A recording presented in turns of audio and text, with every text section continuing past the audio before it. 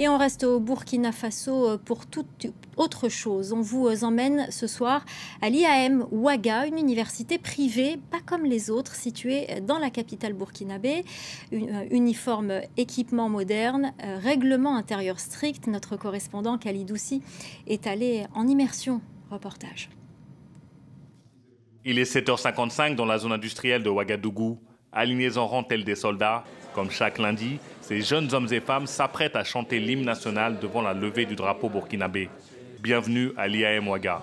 Port de l'uniforme, tolérance zéro pour les retardataires, même en période d'examen. Quittez la devanture de l'école et vous rentrez à la maison. On est à cheval sur la rigueur. Vous voyez que euh, ce matin, tous ceux qui sont venus en retard n'ont pas été acceptés dans la cour de l'école. Ce qui différencie IAM des autres universités, c'est que nous formons des hommes et des femmes de qualité capables d'impulser le développement au Burkina Faso et en Afrique.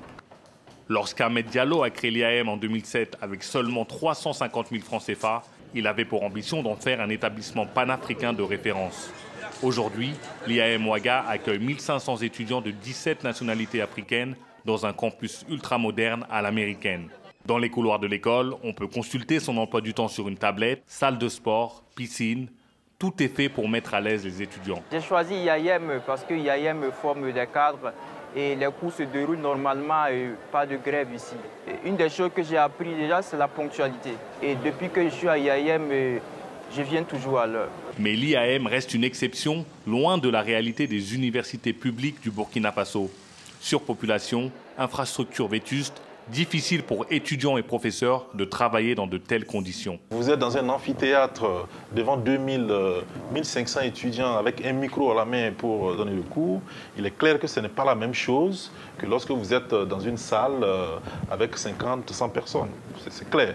Même pour les étudiants qui suivent le cours, c'est clair que ce n'est pas la même chose. Au Burkina Faso, près de 80% des universités sont publiques.